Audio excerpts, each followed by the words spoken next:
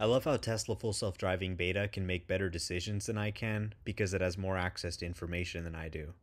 See how the car is changing lanes over to the right here? I didn't realize why it was doing this at first. But then, if you see the car continue to drive forward, you'll notice that the left lane actually splits off to become a left turn lane, and the right lane actually continues forward.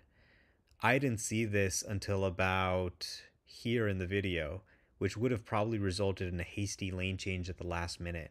Tesla's map data knew about it ahead of time, so it could make the lane change earlier and make the ride smoother and more comfortable. Here's another example where the car makes a right turn, but the lane it turns into actually becomes a right turn lane up ahead. So it makes a lane change to the left.